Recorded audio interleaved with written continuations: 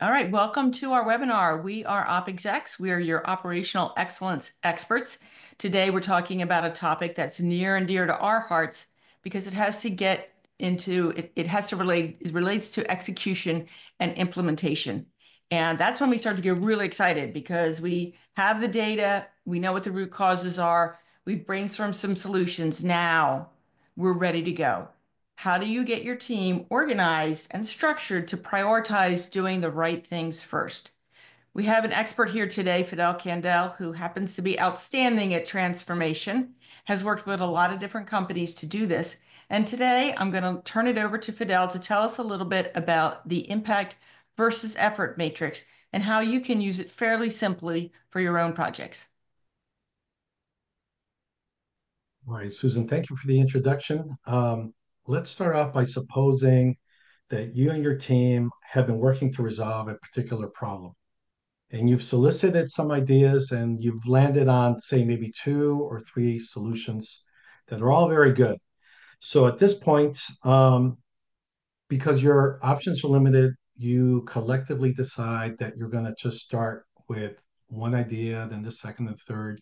You're all set, you're good to go, you're off and running. But what if your team comes up with, let's say, a dozen, all really good solutions? So at this point, you've got a little bit of a dilemma because you've got to be realistic about balancing your resources. You've got people, you've got funding, right? We all live in a world where it's uh, we've got budgets, and maybe there's other competing projects out there.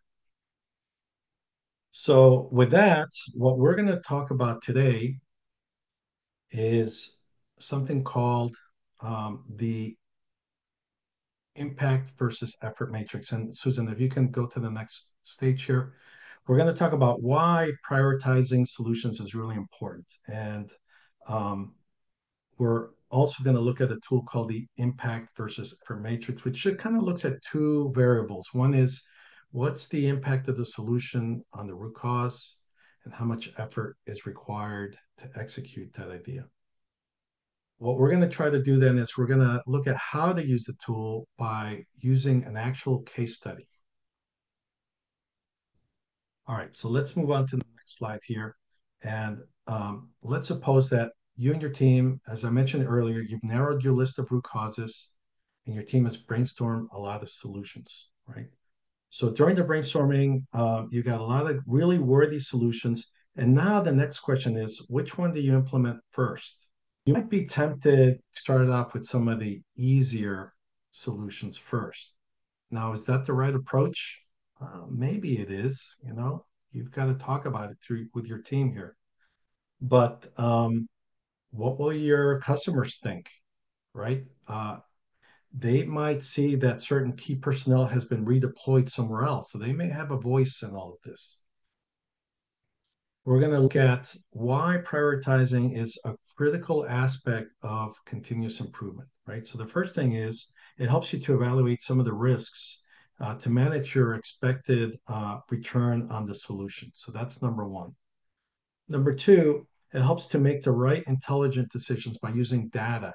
Um, in this case, we're looking at to consider the time involved uh, and the effort involved of your resources and the impact of those solutions. It also finally helps you just kind of avoid getting overwhelmed with a big problem by just chunking down the solutions into smaller, more manageable pieces here. All right, so I mentioned um, a tool called the impact versus effort matrix. And what it does here is first, it rates the impact of the solution against the root cause. And it does so also by assessing them based on how much effort is required to yield the benefit. And when we talk about effort, we're really talking about how much time is involved to execute a problem, how much funding you have available. That could be capital funding or expense funding as well. And their resources, the people, the materials, equipment that you're going to need in order to get things done. All right, so if you were to Google impact versus effort matrix, you'll probably run across something that looks like this two by two matrix, right? It's got four boxes. And you'll see on one axis, you have the impact On the other axis, usually the x-axis, you'll have effort, right? These are the two variables that you're looking at. So let's say that you're looking at a solution that has a high impact and requires a, a low effort. This is usually what we refer to as a low-hanging fruit. That's it. That's going to fall into that green box. Alternatively, if you've got something that has little impact but requires a lot of effort, that will land somewhere in a red box. Those are your longer term kind of problems and solutions. Then everything else kind of falls into these yellow squares. What we're actually going to propose is something called a banded matrix. So you've still got your impact and your effort outlined in your two axes. But now you'll notice there's a scale from 1 to 10 for the impact and a scale of 1 to 10 for how much effort is required. Now you still keep the green zone, which are your low-hanging fruits. You've got your yellow, kind of medium impact, medium effort activities, and then you've got your longer um, effort, lower impact. Those are falling into your red banded zone here.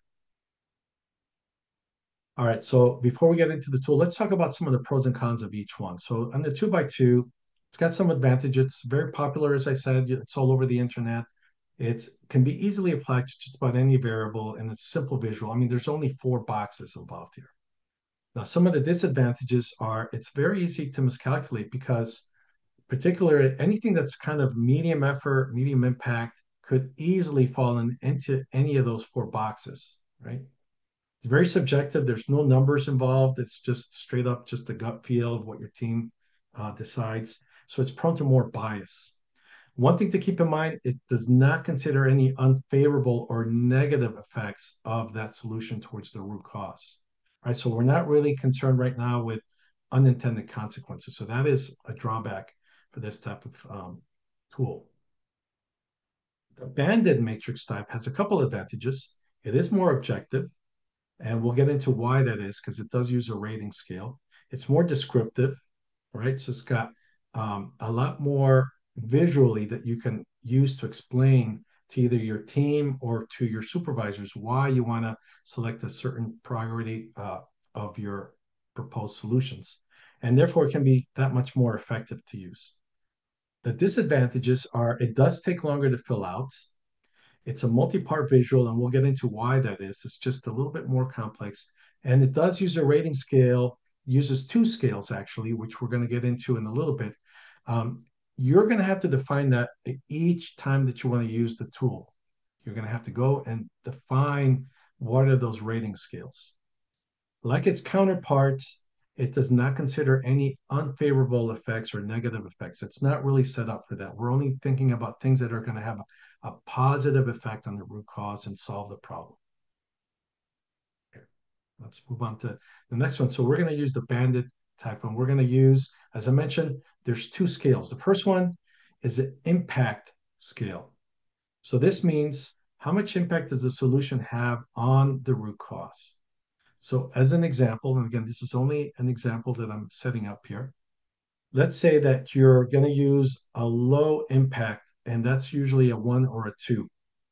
These are things that could be risky or have a small impact on the root cause or your KPI metric. So let's say something that maybe you'll get a 10 to 20% reduction in defects, or maybe a 10 or 20% improvement on your service. So kind of a modest gain medium, a scale of three to seven, on the scale of one to 10, right? So a three or two or seven, these have strong or valuable impact on the root causes or your KPI metric. So somewhere, let's see, a 30 to 70% defect reduction or a service improvement would be a good way to define that.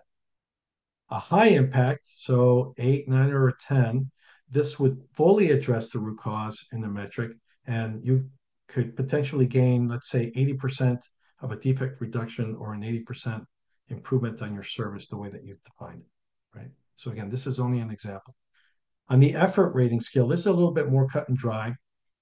This is assessing how much effort each solution is going to have towards implementing or executing that.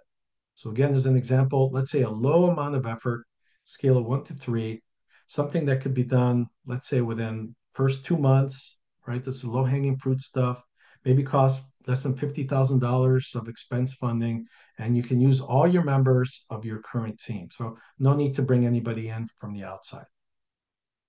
Medium effort, let's say something that could be done within a year, you might have to spend more money, let's say 50 to 200,000 of expense funding, and you might have to bring in a subject matter expert or somebody, let's say from the maintenance team, something that is it's not too difficult, but you know you're you're going to have to add somebody from the outside of the team. A high effort, that's a nine or a ten. This is a multi-year project. Might require some capital planning or funds, and you might need to bring in some external resources as a result. So, in other words, you might need to bring in an outside consulting firm, an outside engineering firm. Uh, you might it might be more, more complex thinking, more uh, of your um, team resources are going to be involved in this kind of project. So this is an example of a rating scale. All right, with that, so how do we use this? Um, what I would like to propose here is I'm going to turn it back over to Susan and she can explain how this tool actually can get implemented.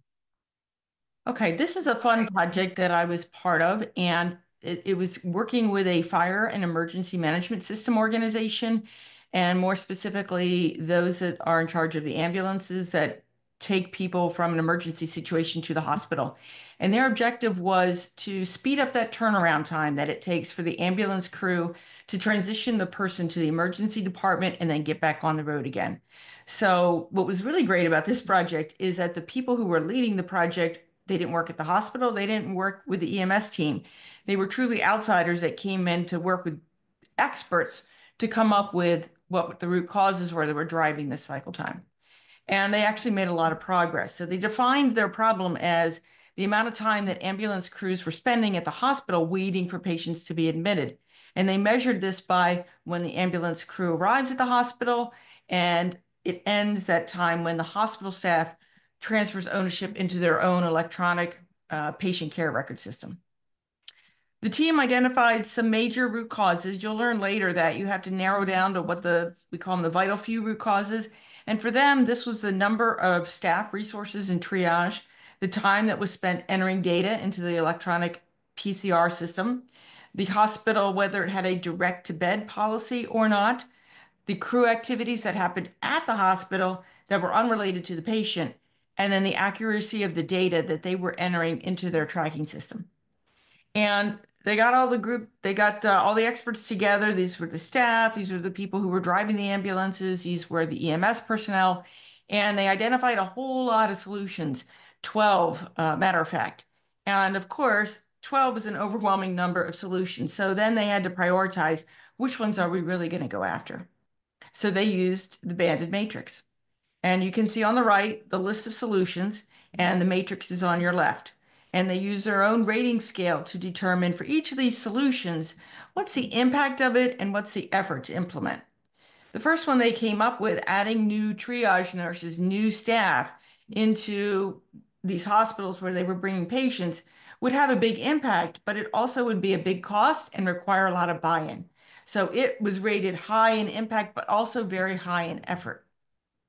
The next one they look at, they looked at implementing a digital patient registration log instead of the manual one that they were using.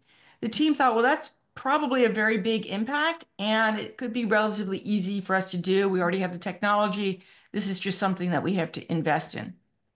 So that rated in the green area, what Fidel called a just go do it or a low hanging fruit.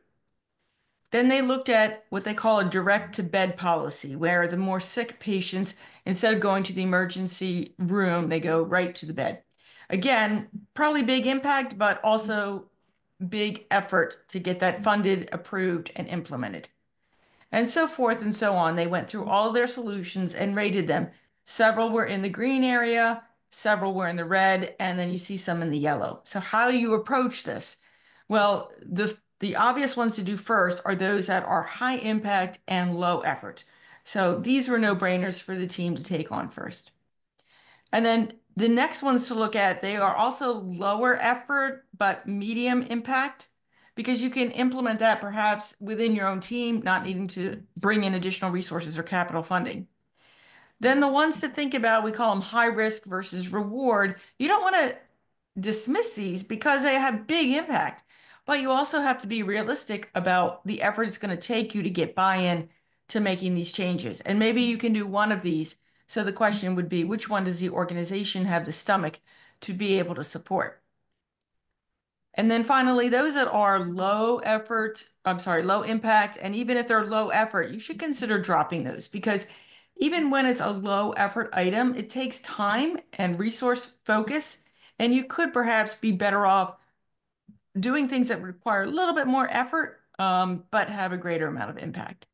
So this matrix really helps you as a team to prioritize and use data to do it. When you use the the simple one, the, the one that just had the four areas, it gets you started, but it doesn't give you the team's real expertise that you get from the rating scale with expanded matrix. So it's why we recommend you really think about potentially using this in your own projects. And I'm going to give it back to you, Fidel, to talk a little bit about how if somebody wanted to use this in their project, what would be the steps to go about doing so? Yeah, thank you, Susan. You know, I really, really love the example here. It's a great way to just show how risk versus reward, and you're using the expertise of your team members to make intelligent decisions. But as you pointed out, just because something's in the red banded area, it doesn't automatically mean that you just don't do it. Red doesn't mean stop. It don't don't go further. It just means hey, we, we need to really carefully think through these ideas because some of them could have a high risk if the reward is there and properly set up for it. So, um, all right. So how do we use this tool? Let's go through some of the steps that Susan kind of outlined for us. So the first thing is we got to narrow the list of the root causes to the vital few, right? So Susan mentioned that the team did this. The next thing that you would do here is you hold a brainstorming session to generate those ideas. Now, if your team comes back with one or two ideas, well, then that's it. There's no need to use this tool. You're done, right? You can actually just move forward and you go on and, and execute, right? Um, but if you have more than a handful of ideas, let's say maybe you've got more than five, well, you can use the banded matrix and take advantage of the expertise here and just try to then make an intelligent uh, decision with your team's input here. So you'll do that. So for each idea, you're going to assess the impact and the root cause. Again, you're going to use a scale from one to 10. You're going to define that as a team, get agreement, right? What does it mean to have impact towards the um, metric that we're driving to, to improve. Uh, then you're also going to then assess the effort that's going to be required to implement each of these ideas. Again, using a one to 10 scale, your team is going to define that up front. Right. So once you do that, then you're going to go uh, solution by solution and you're going to plot them out on the matrix, right? So you're going to go and say, how much impact does this idea have? How much effort is required? And you put that solution number into the proper box until you get through all of your ideas, right? Next is very important. Now you're going to prioritize. That means you're going to have a, a good conversation with your team. You're going to have a gut check to make sure that, yes, we're all in agreement. This is the priority that we want to execute each one of these solutions, right? So those are the steps that you would take. Let's just go back and recap here, right? So uh, we mentioned that if you only have a handful of ideas, you're going to prioritize using some kind of simple method. For example, you're going to vote and get to consensus and you're going to just move forward. If you have a lot of ideas, this is a good problem to have. But in order to determine, well, how do we prioritize them? Well, we're proposing you use this banded impact versus effort matrix. And why is that? Well, um, it's really uh, a handy tool to help you prioritize and get a really good visual of each of your solutions, right? And the real impactful portion of is of this tool is because it enables your team to make informed decisions and then take action. That's really what you want out of this tool. You want to use it to your advantage, make intelligent decisions based on data, based on facts, and be able to go out and execute and prioritize and then use it for your planning uh, purposes, right? So, Susan, I think that's what we have uh, for right now. Um, if I could add a quick comment, I would like to, Fidel, and then we can sure. go to questions. The one thing that I want to mm -hmm. say is that I have found in my experience that when teams brainstorm ideas, they want to put everything in the plan. They don't want to prioritize. They want all of the ideas to get on the plan. But then that quickly can bog the team down into not getting enough done that has impact. And when you're doing a continuous improvement project or effort, you really want to start seeing some quick wins. So it's important that the team take this step so that you can build yourselves towards some quick wins, but also think about those that would have larger impact that need to be done instead of just throwing it all on the board and implementing it all at once, because that really diffuses the team's energy and in in in long term their impact. And and you know, you bring up a very good point here, Susan. Uh, something that we kind of touched very briefly. But your team, if they have a sense of sequence of what's first, what's second, what's third, and why, there's some kind of logic to it. It makes them less frustrated because then they understand. Okay, there's a game plan involved here. There's a there's a strategy that we that we can implement here, and now it makes sense, right? And you can kind of think through some of these other things. Well, how much effort? How much funding? When is it going to happen? By when do we have to have certain things organized and set up? It just makes everyone kind of uh, row in the same direction. So that makes a lot more sense to do it that way. And last comment, and then we'll go to questions. It also gives you a tool to communicate to your stakeholders. It's easy for them to understand this is where the team is starting, this is why they're starting here, and this is why, you know, maybe later in the year we're going to need funding or whatever to make this happen. Um, so can you elaborate on why neither the two by two or the banded matrices consider the unfavorable or negative effects? Yeah, that's a good question here. So both matrices are really focused on which solutions have a positive impact or favorable outcome towards resolving the root cause here. Now, the two by two, uh, very simple, doesn't take into consideration a unit of measure. So that that by itself kind of discounts any negative impact. The banded matrix does use a rating scale, but for simplicity of the color codes, we kind of don't take into consideration any unintended consequences or unfavorable effects, uh, which might result in a negative impact. Now, that doesn't mean that you can't do that. You you could come up. You would just have to create a scale that has negative numbers. It would just make the whole um, matrix a little messier, but it can be done.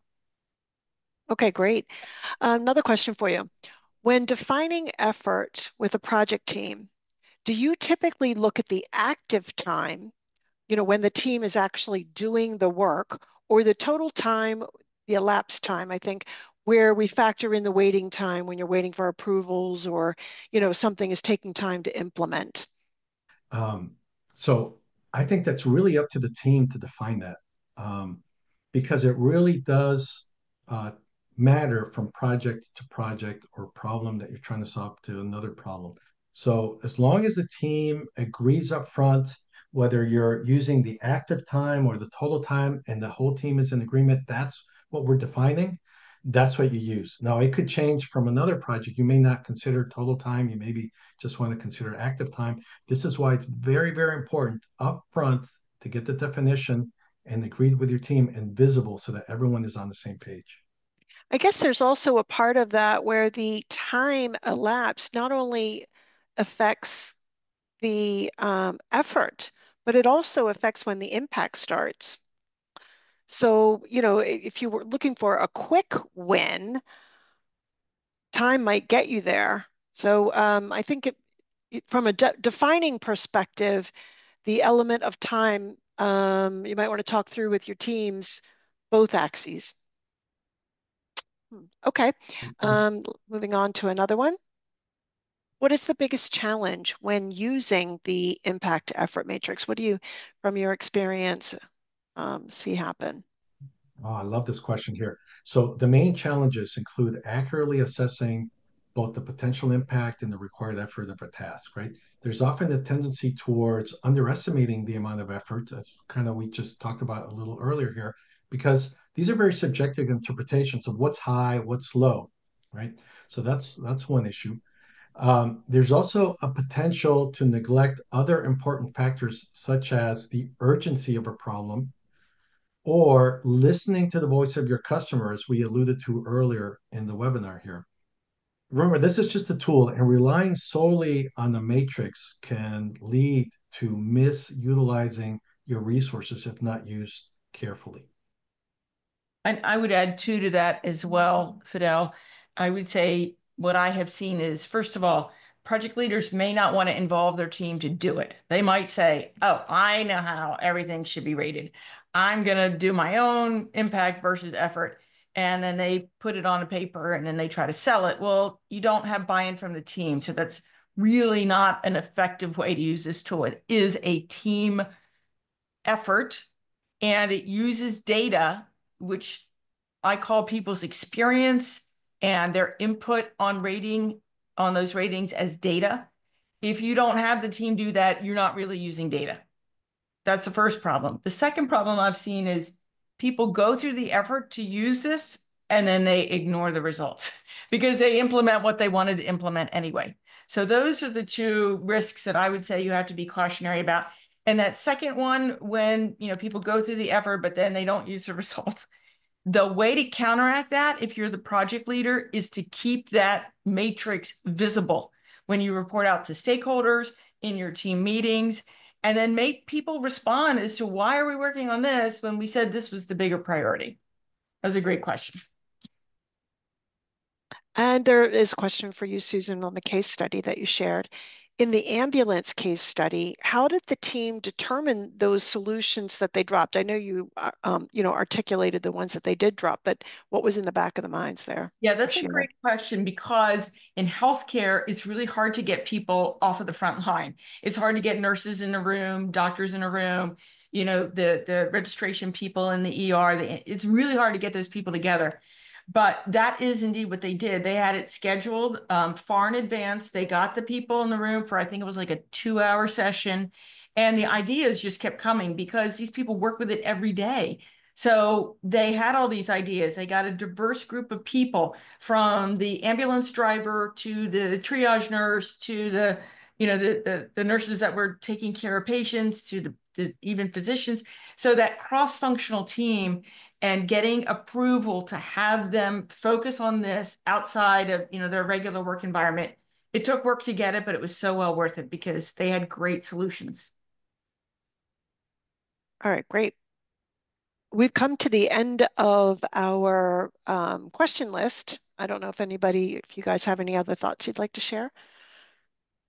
As i just kind of pointed out earlier please use this tool um, with with your team, as, as Susan uh, pointed out, uh, it really is very helpful to narrow your list and at least come up with a game plan that you can move forward. Should you go back and revisit this tool as you're implementing? Yes, absolutely. Please go back, refer to it, and you can adjust it. Remember, this is flexible. The, the nice thing about this, nothing is written in stone. It's an Excel spreadsheet. Uh, we'll make it available to the participants today so that you can utilize it um, and just use it wisely and uh, enjoy, have fun. You know so, what, Fidel, I would like to, if I could, Tracy, have said one thing. The risk assessment goes hand in hand with this. So earlier we answered a question about unintended consequences.